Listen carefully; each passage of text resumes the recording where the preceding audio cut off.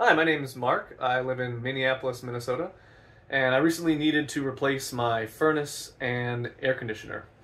I ended up contacting Aquarius Home Services, and I really had an excellent experience with them. Sales, project manager, installers, everyone did a really fantastic job. So if you're in Minneapolis, Minnesota, and you need HVAC service, I would recommend Aquarius Home Services. I'll show you my install real quick. I ended up getting an Amana branded heat pump and furnace. Um, you know, as someone that doesn't know much about HVAC, I just appreciate how clean a job the installers did. Um, you know, no mess, good lines. Uh, I like this new filter that keeps the air extra clean with the four inch filter. Um, I also got the home humidifier, which keeps the air a little more humidified. It helps my lungs, helps my kids, helps my wife.